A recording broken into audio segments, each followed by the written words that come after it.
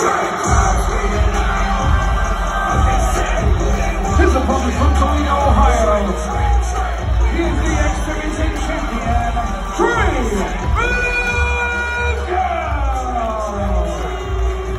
Woo! I saw it,